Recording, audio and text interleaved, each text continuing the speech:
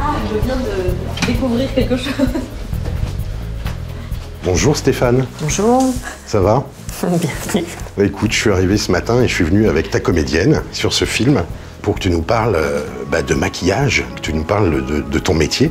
Depuis combien de temps fais-tu ce merveilleux métier qu'est le maquillage au cinéma Euh, plus de 20 ans maintenant. Elle a commencé vers 10 ans. Qu'est-ce que tu as eu comme formation Alors j'ai fait une école, mais il faut savoir qu'on acquiert les bases dans ces écoles, uniquement les bases. Après, ce sont des métiers d'assistanat, d'assister un chef ou plusieurs chefs d'ailleurs, c'est encore mieux, et, euh, et d'apprendre, comme on dit, sur le tas. Et là, donc, on est le matin, on va commencer une scène très bientôt, et tu fais... euh, Le maquillage de Julie dans la série, qui est un maquillage extrêmement naturel, pourquoi on se maquille un minimum au cinéma? Pourquoi on n'est pas filmé totalement au naturel? C'est pour une question. Alors, il y a déjà une question de, de caméra. Ensuite, il y a l'éclairage qui rentre en ligne de compte. Et outre le fait qu'une peau à nu, c'est-à-dire sans maquillage, ne réagit pas du tout comme une peau qui est maquillée, le maquillage sert aussi à raconter une histoire, puisqu'on recrée une réalité en fait. La fatigue, une maladie, la jeunesse, la vieillesse, euh, Ce une n'est pas barbe, le pas cas de là, barbe. Ce qui n'est pas le cas là. Non, non, non, car mademoiselle n'a pas maladie. 85 ans. Alors là, on s'apprête à partir sur le tournage. Et je pense qu'on va découvrir que dans ton métier, il y a une deuxième partie. C'est que tu vas aussi sur le plateau pour ce qu'on appelle les raccords. Exactement. Les raccords, les effets, s'il y a du sang ou non, s'il y a des blessures, enfin, tout ce qui peut intervenir dans le courant de la journée.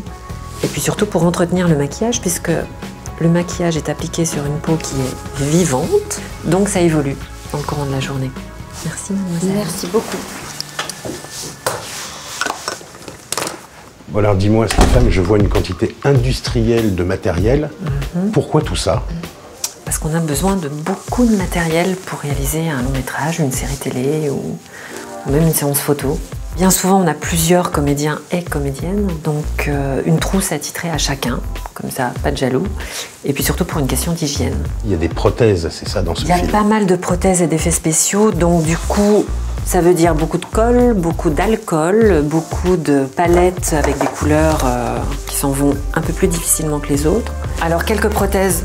Là, c'est une peau brûlée. On a des impacts de balles, par exemple. On a des grandes cicatrices. Tout ce qui est là, ça a été fabriqué par nos soins. C'est-à-dire qu'on les sculpte, on les moule en fonction du film et de la monde, bien évidemment. D'accord. C'est si important que ça d'avoir le plan de travail au maquillage? Le plan de travail, oui. Et oui, c'est très important pour savoir exactement ce qu'on va faire quel jour. On parle de raccord maquillage. Exactement, parce que dans une même séquence, on va peut-être tourner le début de la séquence en début de film et la fin de la séquence à la fin du film. Donc il faut que tout soit raccord, aussi bien euh, le maquillage que les cheveux, les costumes. Derrière toi, je vois aussi plein de poils. Oui, on a plein plein de poils, beaucoup de barbes et on n'a pas que des comédiens avec des barbes. C'est du vrai poil implanté un à un sur du tulle. Mais dis-moi, la barbe, ça fait pas partie du département coiffure? Non, tout ce qui est sur le visage dépend, relève du maquillage. On va où Alors le comédien, la comédienne en l'occurrence, est partie sur le plateau, donc euh, direction euh, le plateau. Eh ben, je te suis. Allons-y. On ne lâche jamais ces comédiens, jamais. Et oui, parce qu'il faut assurer euh, la suite du service, c'est-à-dire faire les raccords, au besoin des changements de séquence, donc changement de maquillage, des effets particuliers qui peuvent intervenir au cours de la journée. Donc il faut être présent à, à toutes les étapes. Donc c'est un métier où il faut être bien couvert aussi. Il faut avoir l'habitude de. Oula, alors c'est un métier où il faut être bien équipé. C'est un métier où, qui nécessite de l'endurance et de la résistance.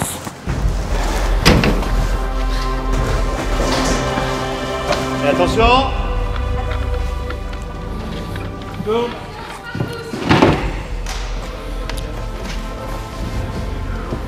Action.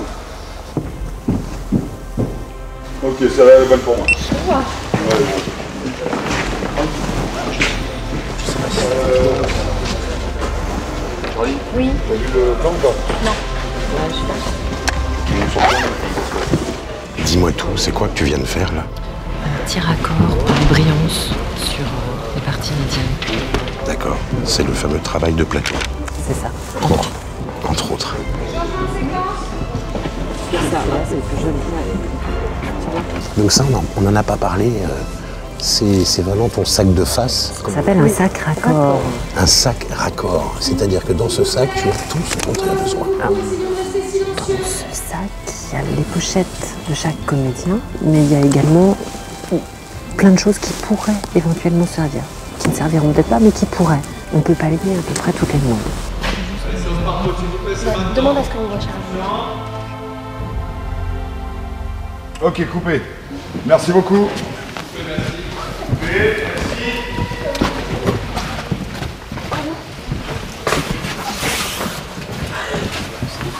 Oui. Alors, euh, On passe là. attends. La, la suite, elle a déjà évolué ou pas Ou c'est que les cheveux vous arrange Moi, je dis simplement que, voilà, à un moment donné, il faut qu'on la voit comme ça. Et après, on la maquille. Ouais, mais là, tu fais ce que tu veux. Mais même là, Alors dis-moi tout, Stéphane. On entretient le maquillage pour qu'il reste le même sur toute la longueur. Yes. Alors là-bas, qu'est- qu'est-ce qui se passe? C'est- pas du raccord, dis-moi là. Là, c'est pas du raccord du tout. Frédéric est en train de remaquiller la comédienne. On n'a pas du tout le temps de retourner aux loges pour le faire. Waouh un petit peu à la bourre. Est-ce que tu as une anecdote à nous raconter? J'ai fait une série il n'y a pas très longtemps pour Canal+. Le réalisateur m'a demandé de la cervelle explosée sur une vitre avec le comédien euh, appuyé contre. J'en avais pas, c'était pas prévu dans le scénario. Et bien, je suis allée à la table régie, j'ai pris une banane, du pain, j'ai tout écrasé, j'ai mélangé avec du sang. Bah, ça le faisait. Comme quoi,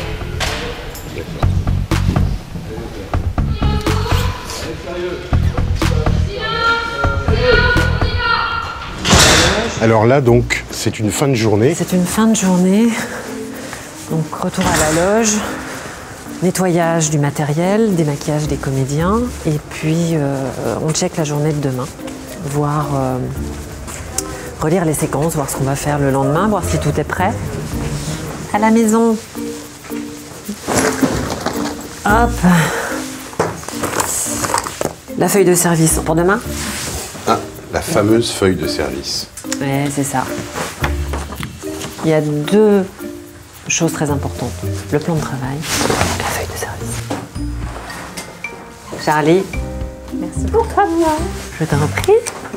Au revoir Charlie, à bientôt. Au revoir, bonne, euh, bonne fin de soirée. À tout le monde. Quel rapport tu as, toi, avec le réalisateur? C'est lui qui te choisit la plupart du temps. En règle générale, oui. Ben, on travaille ensemble puisqu'on est là pour mettre en forme ce qu'il ce a dans la tête. Donc euh, c'est une vraie collaboration pour faire exister ces personnages. Tu peux nous donner, euh, allez, trois films et trois metteurs en scène avec lesquels tu as travaillé? Cézanne et moi de Daniel Thompson, Lucie de Luc Besson, Une rencontre de Lisa Azuelos. Bah écoute, je vais te dire un grand au revoir Merci à toi, et à très vite. à très bientôt. Merci. Bye bye. Au revoir. Voilà, cette vidéo est maintenant terminée. Si vous l'avez aimée, mettez des pouces, likez, allez sur Facebook, posez des questions dans les commentaires ou sur le hashtag de Cinéastus. Et on se retrouve la semaine prochaine pour une nouvelle vidéo. Au revoir.